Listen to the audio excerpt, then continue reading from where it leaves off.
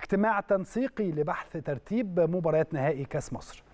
عقد وليد العطار المدير التنفيذي للاتحاد المصري لكرة القدم اليوم اجتماعا تنسيقيا بمقر الاتحاد لبحث كافة الترتيبات الخاصة بالمباراة المرتقبة بين الأهلي والزمالك في نهائي كأس مصر والمقرر إقامتها في التاسعة من مساء بعد غد الخميس باستاد القاهرة. أقيم الاجتماع بحضور العميد علاء صلاح الدين واللواء هاني عبادة مندوبي, مندوبي ناديي الأهلي والزمالك بجانب ممثلي مختلف الهيئات المشاركة في هذه المباراة والرعاة والمسؤولين عن تذاكر المباراة. وبالمناسبة تحقيق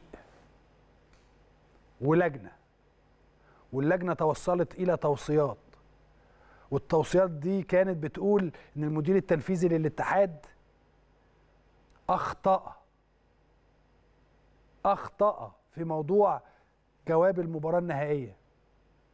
والكابتن وليد العطار طالع بيتكلم أو يعني كان موجود في اجتماع تنسيقي ما بين الأهلي والزمالك. يعني قلنا تحقيق وقلنا لجنة وقلنا هيحصل إيه اللي حصل لغاية دلوقتي في الموضوع ده؟ حد فاكر؟ حد عارف؟ حد حاسس؟ حد بيبقى متابع اللي بيحصل؟ حد هيقول لنا إيه اللي هيحصل الفترة اللي جاية؟ طيب مع كابتن وليد العطار.